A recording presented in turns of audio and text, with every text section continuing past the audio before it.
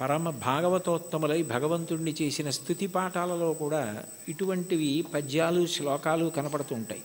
ఈ కీర్తనకి సంబంధించినంత వరకు ఎదురుగుండా ఉన్నటువంటి వెంకటేశ్వరుణ్ణి తిరుమలలో విరాజమానుడైన వెంకటేశ్వర స్వామి వారి ఎదుట నిలబడి అది కేవలం ప్రతిమ అన్న భావన కాకుండా ఆయన వెంకటేశ్వరుడే ఆయన సాక్షాత్తు శ్రీమన్నారాయణుడే అన్న భావనతో అన్నమాచార్యుల వారు మాట్లాడుతున్నటువంటి కీర్తన.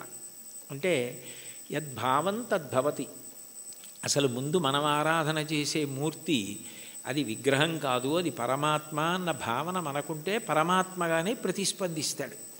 వెంకటేశ్వరుణ్ణి దర్శించినటువంటి అన్నమాచార్యుల వారు ఆయన సాక్షాత్ శ్రీ మహావిష్ణువే అన్న ఉద్దేశ్యంతో ఆయనతో మాట్లాడుతున్న కీర్తన. అందుకే నేను నువ్వు నన్ను చూచి నువ్వు అన్న మాటలతో ఆయనతో మాట్లాడుతున్న సంబోధనతో ప్రారంభమైంది. అందులో అంటారు నన్ను చూచి హరి నువ్వు నవ్వకుండేవా? నన్ను చూసి నువ్వు నవ్వకుండా ఉండలేవు. నాకు అర్థమైంది. అయితే నవ్వడం అనేటటువంటి మాటలో పరిహాసం చేయడం ఒక ఎత్తు. అంటే నువ్వు చేసేది తప్పు నువ్వు చేసేది సరైన పని కాదు. అయోగ్యమైనది అనౌచిత్యమైనది అన్నప్పుడు పరిహాసాస్పదంగా ఆయన నవ్వడం వేరు. వెంకటేశ్వరుడి నవ్వు శుచిస్మిత రామాయణంలో అంటారే తృణమంతరథ కృత్వ ప్రత్యువాచ శుచిస్మిత అంటారు. ఒక కన్న తల్లి పసిబిడ్డడి యొక్క అమాయకత్వానికి ఎంత శుద్ధమైన నవ్వు నవ్వుతుందో ఎంత పవిత్రమైన నవ్వు నవ్వుతుందో భగవంతుని యొక్క నవ్వు అంత పవిత్రంగా ఉంటుంది. మనం చేసే అమాయకపు పనులు చూసి. తల్లి ఏదో వేడిగా ఉన్నటువంటి పాయస పాత్ర అక్కడ ఉంటే పిల్లవాడు వెళ్ళి నేను తినేస్తాను నేను తినేస్తానని పాయస పాత్రలో చెయ్యి పెట్టబోతే నువ్వు తినలేవురా అది చాలా వేడిగా ఉంది నేను చల్లారి పెట్టి పెడతానని చెప్పి ఎంతో ప్రేమగా నవ్వు నవ్వి వాడిని దూరంగా పెట్టి ఉప్పు ఉప్పుని ఊది చిన్న చిన్న ముద్దలు వాడి నోట్లో ఎంత ప్రేమతో తినిపిస్తుందో అంత ప్రేమతో నవ్వుతాట భగవంతుడు. అందుకని భగవంతుని యొక్క నవ్వు శుచిస్మిత మందహాసం. చిన్న నవ్వు నవ్వుతాడు అని. అందుకని మూకశంకర్లు మందస్మిత శతకం చేశారు. నూరు శ్లోకములు ఆయన నవ్వు మీద చేశారు. అమ్మవారి నవ్వు మీద. అటువంటి భగవంతుడు దేనికి నవ్వుతున్నాడు అన్నమాచార్యుల వారిని చూసి అంటే ఆయన నేను ఈ మార్గం పట్టుకున్నాను కాబట్టి నేను తరిస్తాను అని అనుకుంటున్న వాళ్ళని చూసి నవ్వుతాట. ఎందుకని? అంటే ఏ మార్గం మీరు పట్టుకున్నా అది ఎక్కడ వరకు తీసుకెళ్ళగలదు అంటే భగవంతుడు ఉన్న చోటుకి తీసుకెళ్ళగలదు. భగవద్ దర్శనం చేయించలేదు. మీకు అదేదో నేను గొప్ప కోసం చెప్పట్లేదు. ఉదాహరణ మీకు బాగా పట్టుకోవడానికి చెప్తున్నాను. మీకు నన్ను చూడాలి అని అనిపించింది అనుకోండి ఆయన ఎక్కడ ఉంటారండి అని అడుగుతారు. ఏదో పలానా చోట ఉంటారండి అని చెప్పారనుకోండి మీరు అక్కడికి రాగలరు. కానీ తలుపు తీసి మా అబ్బాయి ఇవాళ ఆయన ఎవరిని చూడాలనుకోవట్లేదండి ఆయన ఏదో చదువుకుంటున్నారు నేను ఎవరిని చూడనని చెప్పారు. అన్నారనుకోండి మీరు చూడగలరా నన్ను? సాధ్యం కాదు. కానీ ఎవర్రా? అని నేను అడిగాను అనుకోండి వాడు వచ్చి నాకు ఏదో చెప్పాడు అనుకోండి సరే ఉండు ఐదు నిమిషాలు చూసి వస్తాను అని నేను వచ్చాను అనుకోండి నేను మిమ్మల్ని చూడాలని వస్తే మీరు నన్ను చూడగలరు. తప్ప మీరు చూడాలని వస్తే నా చేత మీరు చూడబడలేరు మీరు నన్ను చూడలేరు. మీరు నన్ను చూడడం మీ చేతిలో లేదు నా చేతిలో ఉంది. ఇంత చిన్న విషయమే అలా ఉంటే భగవద్ దర్శనం భగవద్ అనుభవం మనం పట్టుకున్న మార్గం వల్ల ఫలితంగా వస్తుంది. అదేనా కర్మ కర్మ అయితే ఈ కర్మ చేస్తే ఈ ఫలితం వస్తుంది అని చెప్పచ్చు. అబ్బాయి నువ్వు ఈ పొలాన్ని దున్నవయా విత్తనాలు వెయ్యి ఇలా నీరు పెట్టు మొక్కలు వస్తాయి అని చెప్పచ్చు. భగవన్ మార్గంలో నువ్వు ఈ మార్గాన్ని పట్టుకో పట్టుకుంటే నీకు తప్పకుండా భగవద్ దర్శనం అయిపోతుంది మోక్షం పొందగలవు. అనుకుంటే అందులో ఎప్పుడూ రెండు అంగుళాలు తక్కువ వస్తుంది. నేను చేస్తున్నాను కర్తృత్వం. దాని చేత ఈ ఫలితం వస్తుంది ఒక ఆశ. ఈ రెండు మనసులో ఉండి పాటించిన ఏ పద్ధతి కూడా భగవంతుణ్ణి పూర్తిగా చేరనివ్వదు. అదే భాగవతంలో ఉలూకల బంధనం.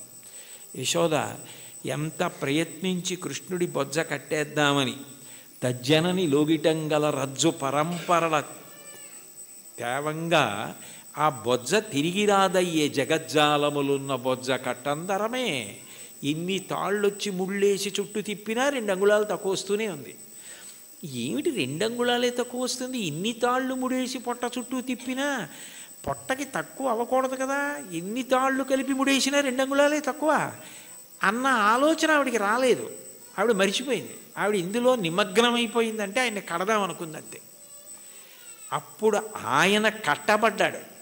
మీరు జాగ్రత్తగా తెలుసుకోవాలి. ఆవిడ కట్టలేదు.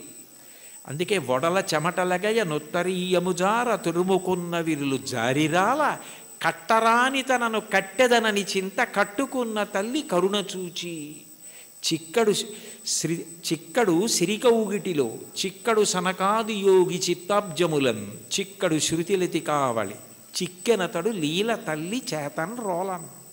ఆయన వేదమంత్రాలకి దొరకడు. ఆయన లక్ష్మీదేవి కౌగిటికి దొరకడు. ఆయన సనకసనందనాథుల మనస్సులో ఎందు దొరకడు. కానీ ఆయన దొరికిపోయాడు యశోదకి. ఎందుకు దొరికిపోయాడు? అంటే ఆమె ఎందుకు చేస్తోందన్నది ఆమె మరిచిపోయింది. మరిచిపోయి ఆయన ఎందు ఆయనని కట్టడం అన్న దాంట్లో రెండు అంగుళాలు తక్కువ వచ్చాయన్నది ఆవిడ మరిచిపోయినప్పుడు కట్టబడ్డాడు.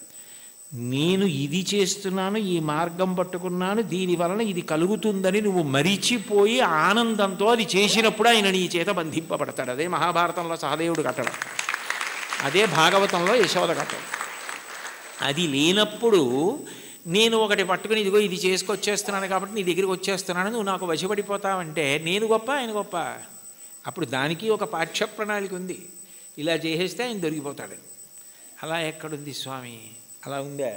అని చెప్పడానికి మనసుకు గోచరమా మాటలకు గోచరమా? మనసుకి నువ్వు దొరికిపోతావా? ఎలా దొరికిపోతావు? పటకార అంటారు లోకంలో. పటకార అంటే కింద మరుగుపాల గిన్నె ఉంటుంది. పైన నా చేత్తో పట్టుకుంటాను.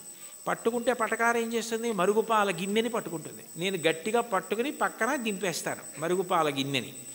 ఆ మరుగుపాల గిన్నెని పట్టుకున్న పటకార నేనే పట్టుకుంటున్నాను మరుగుపాలని అనుకుంది అనుకోండి. నేను పైన పట్టుకోవడం మానేశాను అనుకోండి. పట్టుకోగలదా? నేను పట్టుకుంటే పట్టుకుంటుంది కాబట్టి దాని పేరు పటకారని పేరు. ఈశ్వరుడి యొక్క చైతన్యము పడితే మనసు పనిచేస్తుంది. అసలు ఈశ్వర చైతన్యం పడకుండా మనసు ఎలా పనిచేస్తుంది? సంకల్ప వికల్ప వికల్పములు ఎక్కడి నుంచి వస్తాయి? నానాఛిద్రఘటోదర స్థిత మహాదీప ప్రభాభాస్వరం జ్ఞానం యశ్యతు చక్షురాదికరణ ద్వారా బహిస్పందతే జానామీతి తమైవ భాంతమనుభాచ్యేత సమస్తం జగత్. తస్మై శ్రీ గురుమూర్తయే నవైదం శ్రీ దక్షిణామూర్తయే అంటారు దక్షిణామూర్తి అష్టకంలో. మనసు మాత్రం ఆయన ప్రభావం వాక్కు ఆయన ఇచ్చినది నేను ఇప్పుడు దీనికి ఇలా వ్యాఖ్యానం చేయాలంటే నేను ఎన్ని రోజులు చదువుకురాను దాన్ని? ఇక్కడ ఉన్న సమయాన్ని బట్టి ఏదో చెప్పాలంతే. నాకేదో భావన వచ్చిందనుకోండి ఆ భావన నాలో కదిలినప్పుడు మూలాధార చక్రం దగ్గర నుంచి పైకొచ్చిన గాలి బ్రహ్మరంధ్రం దగ్గరికి వెడితే నువ్వు అట్లా నిర్గమించకూడదు సమయం రాలేదని వెనక్కి తోసేస్తే నోటిలోకొచ్చి నిలబడిన వాయువుని నాలుక కదిలి నొక్కితే సొట్టలు పడి గాలి అక్షరములై నా నోట్లోంచి బయటకు వస్తున్నప్పుడు అక్షరములు పదములై పదములు వాక్యములై నా భావనని పట్టుకుని ఆకాశగతమై వచ్చి మీ చెవులలోంచి లోపలికి వెడితే నా భావాలు మీ భావాలు అవుతున్నాయి సభాభ్య సభాపతిభ్యశ్చ భో నమో నమో. అది చేస్తున్నవాడెవరు? నేను మాట్లాడుతున్నానంటే అర్థం ఎక్కడుంది దానికి? ఇది నేను వెళ్ళిపోయిన తర్వాత నేనే చెప్పాను వ్యాఖ్యానం అంటే ఇది అది చెప్పింది. నేను చెప్పింది అది చెప్పింది. ఇది నాకు మైకు. నేను ఆయనకి మైకు. లోపలుండి ఆయన చెప్తే నేను మైకు. తప్ప నేను చెప్పడం ఏంటి? అది తెలిసిన వాళ్ళు నేనన్న మాట అనలేదు. పలికెడిది భాగవతమట. పలికించు విభుండు రామభద్రుండట. నే పలికిన భవహరమవునట. పలికెద వీరుండుగాథ పలుకగనేలా నా స్వాతంత్రం ఎందుకు? ఆయన ఇది పలికిస్తే అది పలుకుతాడు. తప్ప నేనన్నది ఏం లేదన్నారు పోతన గారు. ఏమిటి? అంత భాగవతాన్ని ఆంధ్రీకరించిన మహానుభావుడు. కాబట్టి దీనికి ఇది మార్గం అన్నది ఎక్కడుంది అసలు? ఈ మాటల చేత ఆయన వశపడిపోతాడు. నేను ఇన్ని ప్రవచనాలు చేశాను కాబట్టి నేను ఖచ్చితంగా భగవంతుణ్ణి చేరిపోతాను. అని ఎట్లా చెప్తావు? ఆయన అనుగ్రహం నీ చేత మాట్లాడించింది. నీవు మాట్లాడడంలో నిన్ను నువ్వు మరిచిపోతే మాట్లాడడం నీ నిప్పి మరిచిపోవడానికి నీ బాధ మరిచిపోవడానికి కూడా కారణమైపోతాయి. నిజంగా నీకు ఏదో నిప్పిగా ఉంది. అయినా మాట్లాడడంలో నువ్వు ఆ నొప్పి మరిచిపోతున్నావు. అంటే అన్నీ మరిచిపోవడానికి నీకున్నది సాధనం అయిపోతాయి అప్పుడు ఈశ్వరుడు వశపడతాడు. తప్ప ఇది నాకు మార్గము దీనికి ఇది ప్రయోజనము అని అనుకున్నంతకాలం నువ్వు వశపడతావా స్వామి? అంత అమాయకుడివే. అది సాధ్యమా? అంటే ఆ మైమరుపు రావాలి. అందుకే మీరు చూడండి. తన్మయుడైపోయాడండి అంటారు. తన్మయుడైపోయాడండి అన్న మాటకు అర్థం ఏమిటి? తత్ ఎందు మయమైపోయాడు. ఏమంటే మరి దొంగ మీ జేబులోంచి డబ్బులు తీసేస్తుంటే మీకు తెలియలేదా?